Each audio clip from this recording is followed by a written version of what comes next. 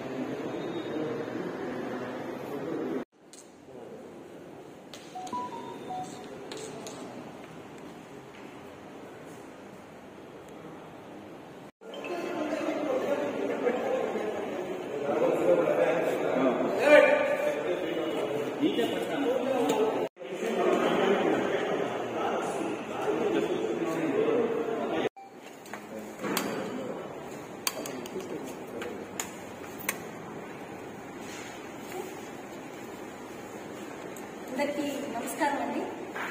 మనకి నిన్నటి సాయంత్రంలో మన విజయవాడలో SEB commissioner SCB commissioner Shri Vineet Brijlal IPS గారి ఆదేశాల మేరకు మరియు మన నెల్లూరు జిల్లా ఎస్పీ శ్రీ విజయరావు ఐపీఎస్ గారి ఆదేశానుసారం మాకు రాబడిన సమాచారం మేరకు నెల్లూరు రూరల్ డిఎస్పీ గారు మరియు బుచ్చిరెడ్డిపాలెం సిఐ కోటేశ్వరరావు గారు అండ్ వారి నగదర్తి ఎస్ఐ గారు వారి staff and also state task force team SIB మొత్తం అందరూ కలిసి మన కావలి దగ్గర ఉన్న అనంతవరం ఫారెస్ట్ ఏరియాలో పేకాటాడుతున్నారనే సమాచారం మేరకు దాడులు నిర్వహించి ఆ దాడుల్లో దాదాపుగా పద్దెనిమిది మందిని అరెస్ట్ చేసి వారి దగ్గర నుంచి పది లక్షల నలభై ఐదు వేల ఐదు వందల రూపాయలు సీజ్ చేయడం జరిగింది.